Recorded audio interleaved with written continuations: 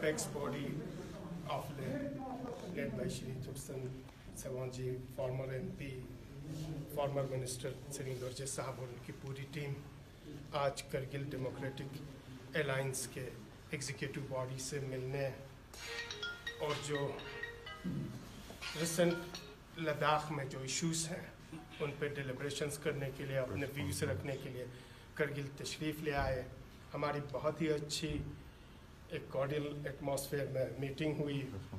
انہوں نے اپنی پوائنٹس رکھے، ہم نے اپنے پوائنٹس رکھے۔ بہت سارے ایشوز پہ ہم ایگری بھی کی، بہت سارے ایشوز پہ ڈفرینس آف اوپینینس رہے۔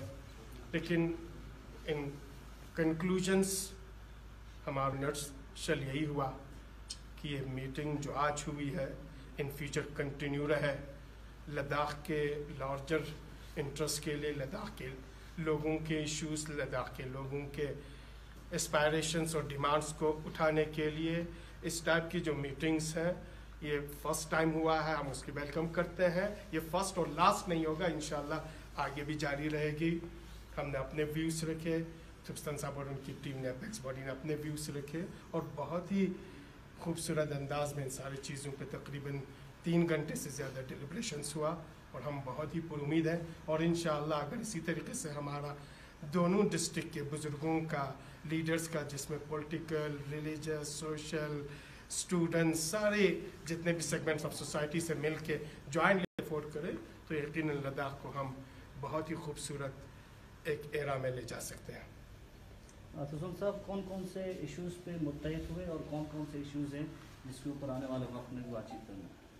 دیکھیے، یہ پہلی بار ہو رہا ہے لداخ کی ہسٹری میں شاید کہ لے اور کرگل کی جتنے سوشل ریلیجیس آرگنائزیشنس ہیں، مختلف پولیٹیکل پارٹی ہیں اور باقی یوتھ آرگنائزیشنس ہیں، انہوں نے آپس میں مل کے لداخ کی فلاح و بہبود کے لیے اور لداخ کے آنے والے بھوشیہ کے لیے اور آنے والے جو ہماری نسل ہے، ان کے لیے کس طرح کا لداخ میں سیف گارڈ اور یہ چاہیے سیکیورٹی چاہیے اپورچونیٹیز چاہیے، اس کو لے کر تقریباً ہر مدعا اس سے ریلیٹڈ ہر مدعے پر ہم لوگوں نے چرچا کیا اور بہت ہی سہاگ پورن واتاورن میں بہت ہی اچھے حالات، ماحول میں یہ بات چیت ہوا۔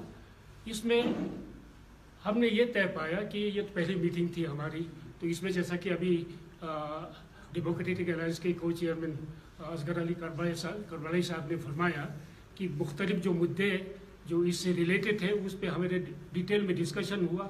بہت سارے مدعے اس میں ہم نے حکمت ہوئے ہیں اور بہت سارے کچھ ایشوز تھے جس پہ ہماری مختلف رائے ہیں لے اور کرگل کی۔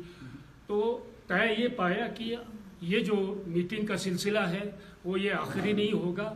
آئندہ بھی ہم اس طرح کا میٹنگ جو ہے انٹریکٹیو میٹنگ ہمارا جاری رکھیں گے۔ اور جو لداخ کی جو فلاح و بہبود کے لیے جو بھی ایشوز ہوں گے، اس پر ہم ساتھ مل کر جوائنٹلی ہم اس پہ ایکشن لینے کی سوچیں گے۔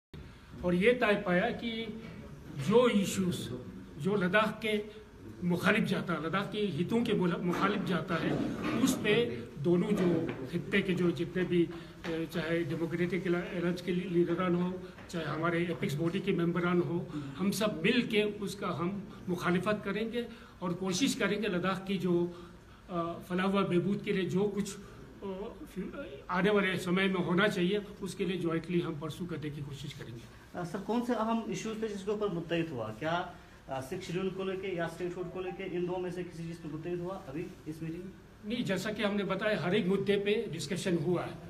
اس میں تھا، مختلف، کوئی ایسی مختلفات بھی نہیں تھا، اختلافات بھی نہیں تھا، جس پہ ہم آگے بیٹھ کے بات کر کے سلجھا نہ سکے۔ تو ہم کوشش کریں گے کہ آنے والے سمے میں اس میٹنگ میں سب کچھ طے ہونا ایک ہی میٹنگ میں ممکن نہیں ہے۔ تو آنے والے سمے میں ہم مل کے ان پر چرچا کرتے رہیں گے اور جتنا ہو سکے ہم ایک جٹ ہو کے ہم اس کا مقابلہ کرنے کی کوشش کریں گے۔ اصل آنے والے وقت میں ایم ایچ اے سے بھی ملاقات کرنا ہے اور اپیکس بوڈی کو بلاوا بھی آیا ہے۔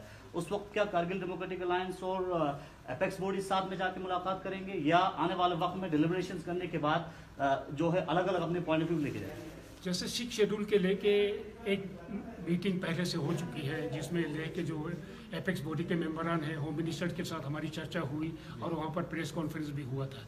تو اس میں یہ طے پایا تھا کہ آنے والا جو میٹنگ ہوگی، اس میں ہم کرگل سے بھی چرچا کر کے کوشش کریں گے، لے کرگل کا ایک جوائنٹ ڈیلیگیشن وہاں پر آئے۔ لیکن چونکہ ابھی ہوم منسٹر کی طرف سے کوئی انویٹیشن نہیں آیا ہے انویٹیشن کا انتظار ہے اور یہ طے ہوا ہے کہ کرگل کو بھی جب بھی انویٹیشن آئیں گے اس پہ غور کریں گے اور ضرور کرگل کے مفاد کو لے کے لداخ کے مفاد کو لے کے کرگل سے بھی ڈیلیگیشن جائے گا ہوم منسٹر دونوں الائنس ساتھ میں جائیں گے دلی جہاں ساتھ میں جانے جانا ہوگا ساتھ میں بھی جائیں گے اگر الگ کوئی اس طرح کے ایشوز ہے جس میں الگ جانے کی بات ہو جیسے سکھ شیڈول کو لے کر ہے پہلے سے ایک چرچا چل رہا ہے تو اگر ہوم منسٹری کی طرف سے کرگل کے ڈیلیگیشن کو اگر انویٹیشن آتا ہے تو وہ غور کریں گے۔ لیکن جہاں تک لے کا تعلق ہے آلریڈی ہمارے جو ایشوز ہیں وہ ہوم منسٹری کے سامنے ہیں۔ تو ہم امید کرتے ہیں جلدی انویٹیشن ہوم منسٹری کی طرف سے آئیں گے۔ سر کون کون سے اہم پوائنٹ ہے جس کے اوپر متحد ہوا ہے؟ ہم تو جنرلی ہم بتا سکتے ہیں لداخ زیادہ ڈیلیبریشن کرنے والے ایشوز جی۔ نہیں ہیں کافی ایشوز ہیں جو کنسرن لداخ کے ہے۔ لداخ کی ڈیولپمنٹ کی ہے، لداخ کی سیف گارڈ کے لیے، لداخ کے کمنگ فیوچرز کی سیف گارڈز کے لیے، ان سارے پہ تھرڈ پہ ڈیلیبریشنس ہوا ہے۔ میکسیمم پوائنٹس پہ ایگری ہوئے ہیں، کچھ پوائنٹس ہیں۔ اس لیے ہم ان فیوچر اس میٹنگز کو کنٹینیو کر رہے ہیں۔ تاکہ جب بھی لداخ کے سیف گارڈ کے لیے، لداخ کی سیفٹی اور سیکیورٹی کے لیے کوئی بھی ایسا ایشو آتا ہے لا آتی ہے جو اینٹی لداخ ہو تو جوائنٹلی لہ کے اپیکس باڈی اور کرگل کی کے ڈی اے مل کے جوائنٹ ریزسٹ کرے گی اس کی مخالفت کرے گی۔ آئندہ ان فیوچر جب بھی لداخ کے کنسرن کو ایشوز ہوگا ہم جوائنٹلی اس پہ یہ کر لیں گے اور یہ ڈسکشنز ہوتی رہے گی اس میں سکس شیڈول اور سکس شیڈول پہ بھی بات ہوئی۔ اس میں سکس شیڈول پہ بھی بات ہوا سٹیٹ ہوڈ پہ بھی بات ہوا سکس شیڈول سٹیٹ ہوڈ کے بغیر بھی بہت سارے ایشوز پہ بات ہوئے۔ ان سارے ایشوز پہ بات ہوئی۔ آنے والے وقت میں بھی بات چیت جاری رہے انشاءاللہ اس سے بھی بہتر وے میں آنے والے وقت میں جاری رہے گی۔ جی۔ بہت بہت شکریہ۔